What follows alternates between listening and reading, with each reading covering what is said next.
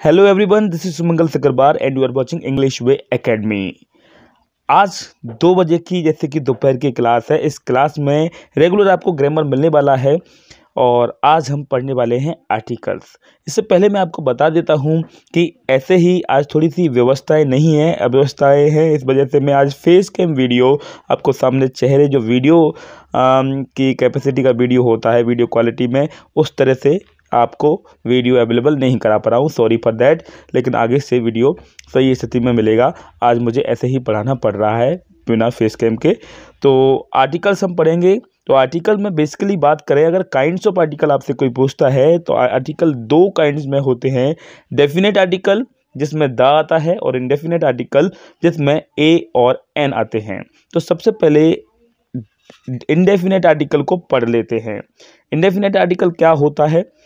अभी मैंने बताया ए और एन तो पहले ए की बात करते हैं।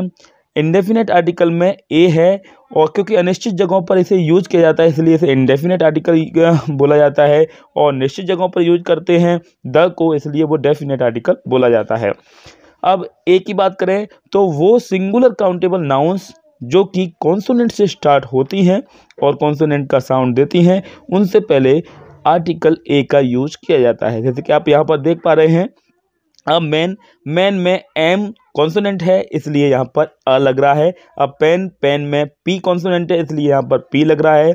और अ यूनिवर्सिटी थर्ड एग्ज़ाम्पल मैंने लिया है ए के लिए। तो उसमें अ यूनिवर्सिटी में यू क्योंकि स्टार्ट तो हो रहा है यू वॉबल से लेकिन साउंड इसका या से होता है यूनिवर्सिटी और या एक कॉन्सोनेंट होता है इसलिए यहाँ पर यूनिवर्सिटी से पहले भी ए लगा रहे हैं।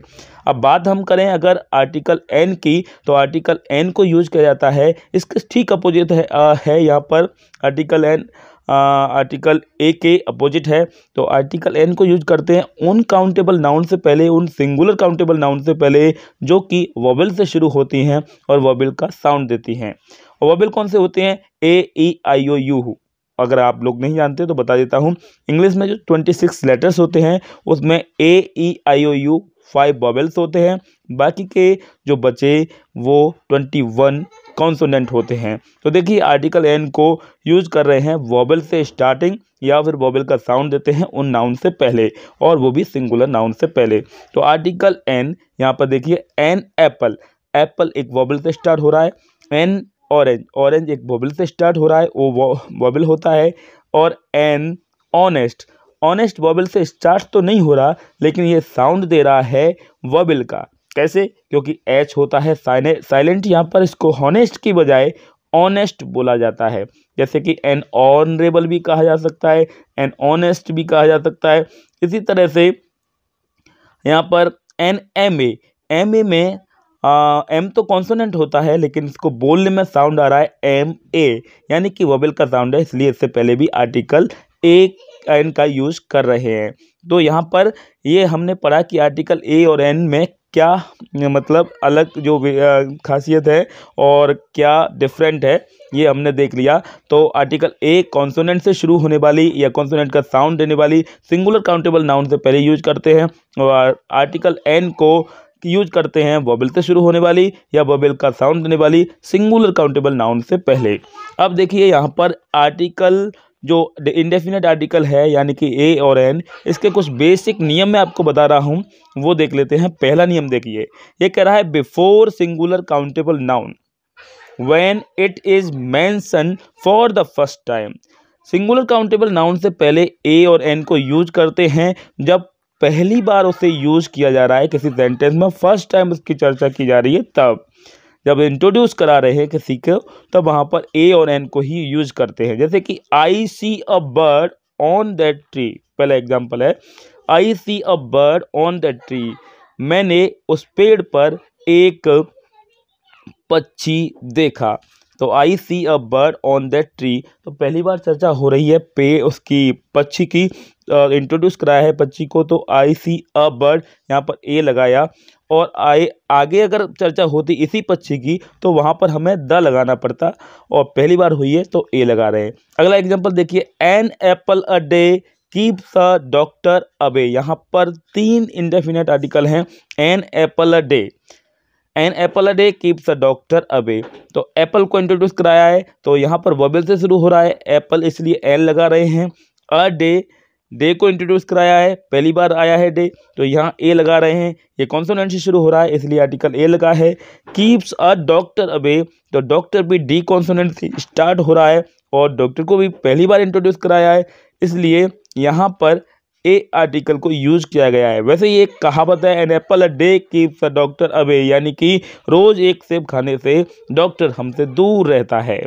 अब देखते हैं सेकंड जो इसका रूल है इंडेफिनेट आर्टिकल का उसे। यहाँ लिखा है बिफोर एस सी एन यानी कि singular countable noun used example of class of things उन सिंगुलर काउंटेबल नाउन के पहले इसको यूज़ किया जाता है आर्टिकल ए या एन को यानी कि इंडेफिनेट आर्टिकल को। जब पूरी क्लास यानी कि पूरी जाति का बोध किया करवा रहा है, वो काउंटेबल नाउन अपने लिए नहीं, बल्कि पूरी जाति का बोध करा है, करा रहा है किसी क्लास की तो वहाँ पर आर्टिकल एन को यूज़ करते हैं या ए को यूज़ करते हैं। जैसे कि a horse is an animal यानी कि घोड़ा एक जानवर है। तो घोड़ा यहाँ पर किसी इंडिविजुअल एक घोड़े की बात नहीं कर रहे, बल्कि पूरे घोड़े की प्रजाति की बात की जा रही है, पूरे क्लास की बात की जा रही है कि घोड़ा क्या होता है, घोड़ा एक जानवर होता है। ऐसे ही यहाँ पर an apple is a sweet fruit तो एप्पल एक मीठा फल है। तो एप्पल के बारे में यहाँ पर पूरी जाति का बोध करा रहे पूरे क्लास की बात करें, किसी एक एप्पल की बात नहीं की जा रही, इसलिए यहाँ पर एन यूज़ किया गया है। तो ये हुआ। अब आते हैं आर्टिकल एक और, थर्ड नियम की तरफ़ इसकी तरफ़ बढ़ते हैं। तो देखिए, in the meaning of word one one के अर्थ में इसको न्यूमरल कल एडजेक्टिव के रूप में प्रयोग करते हैं वन के अर्थ में वन यानी कि एक। तो एक कार देता है जैसे कि he gave me a pen उसने मुझे एक पेन दिया। ऊपर वाले सेंटेंस में उसको एक और दो करके यूज़ नहीं कर रहे थे, वहाँ पर पूरी प्रजाति के बोध के लिए यूज़ कर रहे थे। और जबकि यहाँ पर इसको काउंटेबल के रूप में यूज़ कर रहे हैं, गिनने के रूप में यूज़ कर रहे हैं न्यूमेरिकल एडजेक्टिव के रूप में यूज़ किया जा रहा है। उसने मुझे एक पेन दिया तो एक, दो, तीन इस कैटेगरी में से यूज़ किया जा रहा है। अब नेक्स्ट सेंटेंस है not a word was spoken एक भी शब्द यूज़ नहीं किया गया। तो यहाँ पर ए और नीचे वाले सेंटेंस में ए दोनों सेंटेंस में ए ने वन का अर्थ दिया है।